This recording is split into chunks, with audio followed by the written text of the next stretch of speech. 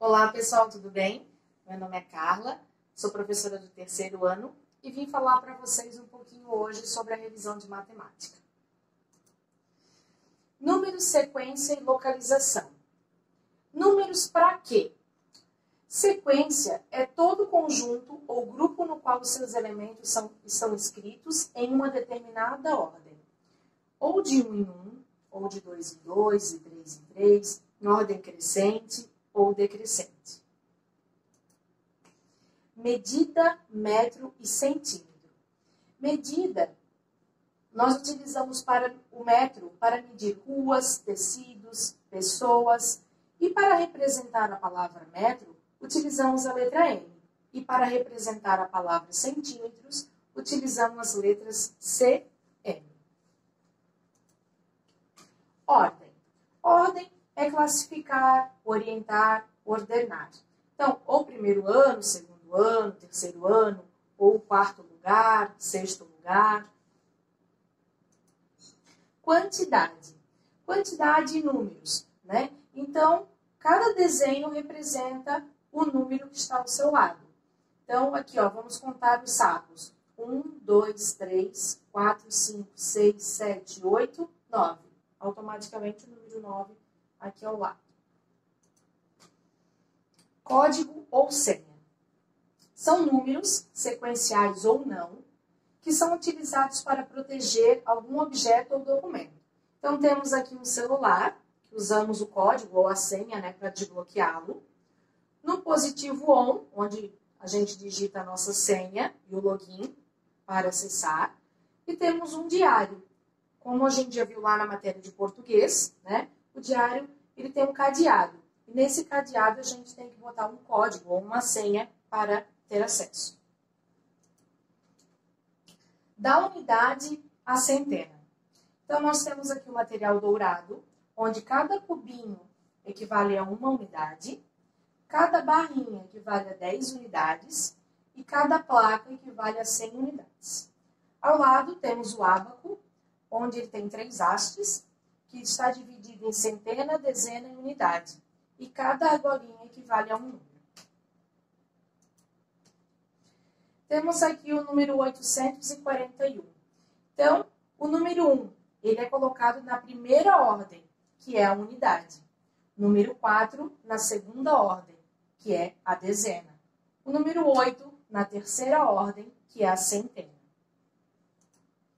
Logo, temos o número 56. Então, o 6 na primeira ordem, que é a unidade, e o número 5 na segunda ordem, que é a dezena. Logo, temos apenas o número 9. Então, ele, como só temos a unidade, ele é colocado na primeira ordem. Compor e decompor números.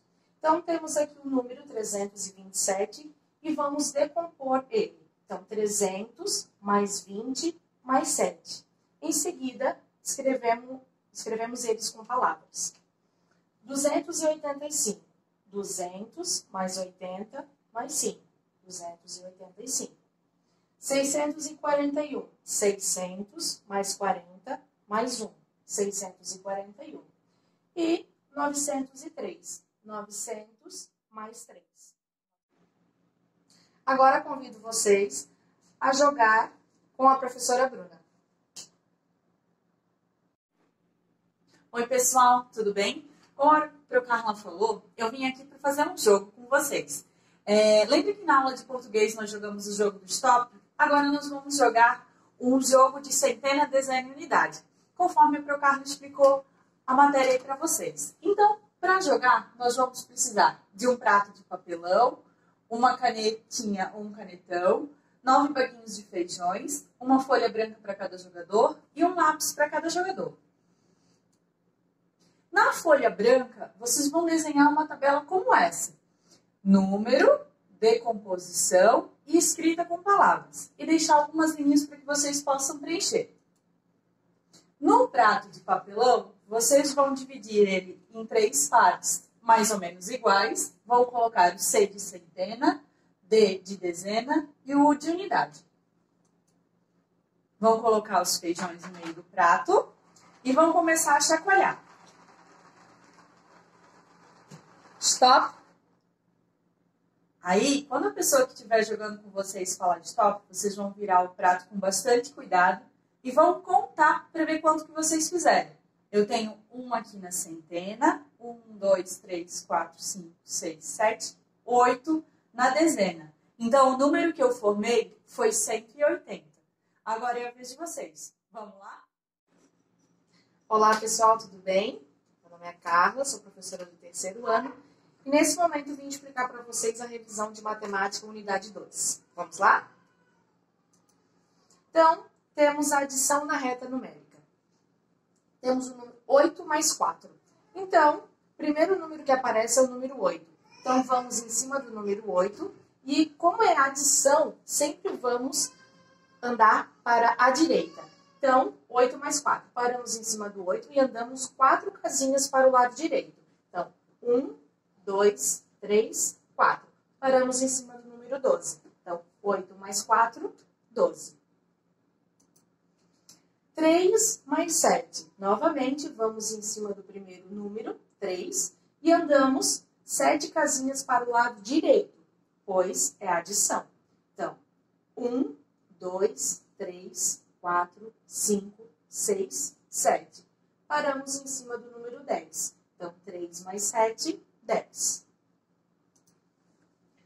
Reta numérica em situação problema. A professora Joana está organizando os livros da biblioteca da sala. Observe a quantidade de livros que ela já arrumou. Então, ela tem 25 livros de fábulas e 14 livros de ação. Quantos livros a professora Joana organizou no total? Vamos resolver essa atividade na reta numérica. Então, ela tinha 25 livros de fábulas. Paramos em cima do número 25. E ela tinha 14 livros de ações. Então, vamos andar 14 casas para o lado direito, pois é adição. Então, 1, 2, 3, 4, 5, 6, 7, 8, 9, 10, 11, 12, 13, 14 paramos em cima do número 39. Então, então ela tinha 39 livros no total. Subtração na reta numérica. Eduardo tinha 47 bolinhas de gude e durante a partida ele perdeu 7 bolinhas. Com quantas bolinhas Eduardo ficou? Como vimos antes, a adição andamos sempre para o lado direito. Com a subtração, andamos para o lado esquerdo. Então, ele tinha 47 bolinhas, vamos em cima do número 47, e ele perdeu 7. Então, com a subtração, vamos para o lado esquerdo. Então, 1, 2, 3, 4, 5, 6, 7. Parou em cima do número 40. Então, Eduardo ficou com 40 bolinhas. Até mais, pessoal!